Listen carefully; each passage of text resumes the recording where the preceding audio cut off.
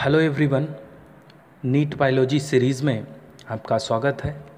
आप देख रहे हैं स्वर्णिम बायोलॉजी क्लासेस और मैं शुभम तिवारी। आज का टॉपिक है एनिमल सिमेट्री। अगर आप फाइलम पढ़ रहे हैं तो आपको सिमेट्री की जानकारी ज़रूर होनी चाहिए। Symmetry means the arrangement of body parts into geometrical designs सममित मतलब अंगों का अरेंजमेंट उनके ज्यामितीय ढंग से किया जाए। मन, माने उनको इस प्रकार से, इस ढंग से व्यवस्थित किया जाए, काटा जाए कि वो बराबर कटें। ज़्यादातर जंतुओं में सिमेट्री पाई जाती है, लेकिन अपवाद स्वरूप कुछ ऐसे भी जंतु हैं जिनमें सिमेट्री नहीं होती। मतलब वो किसी भी तरीके से बराबर भागों में नहीं काटे जा सकते। तो ऐसे जंतुओं को एसिमेट्रिकल जंतु कहते हैं। मुख्यतः सिमेट्री चार प्रकार की होती है। Spherical symmetry, radial symmetry biradial symmetry और bilateral symmetry. Spherical symmetry. Spherical symmetry is found in animals whose body resembles a sphere नाम से ही पता चल रहा है कि ऐसे जंतु जो आकार में गोलाकार हों, उनमें स्फेरिकल सिमेट्री होती है। और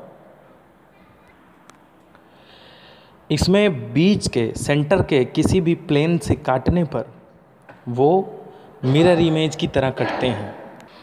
मतलब कटने वाले सभी भाग बराबर होते हैं। इसके एग्जाम्पल्स हैं वालवाक्स हेलियोजोवा रेडियो लेरिया यानी ये जंतुओं में बहुत ही कम देखने को मिलता है। Radial symmetry in radial symmetry body is in the form of a flat और टाल सिलेंडर रेडियल सिमेट्री वाले जंतु भी लगभग गोलाकार ही होते हैं और ये इनके शरीर में एक सेंटर होता है। उस सेंटर से अगर आप एक रेडियाई यानी त्रिज्या लेकर के काटेंगे तो कटने वाला प्रत्येक भाग बराबर होगा। इसलिए इसे रेडियल सिमेट्री कहते हैं। रेडियल सिमेट्री मुख्य रूप से सिलेंड्रेटा निडेरिया और इकाइनोडर्मेटा में भी पाया जाता है।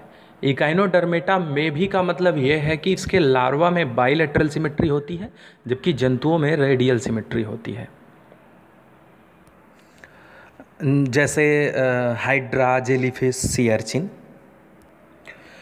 biradial symmetry. Biradial symmetry is a variant form of radial symmetry as some part that is paired rather than radial. ये भी लगभग रेडियल सिमेट्री जैसा ही है लेकिन इसमें एक त्रिज्या की बजाय पेयर्ड मतलब जोड़े के साथ काटा जाता है। मतलब लॉन्गिट्यूडनल एक्सिस से केवल दो प्लेन्स पास होते हैं।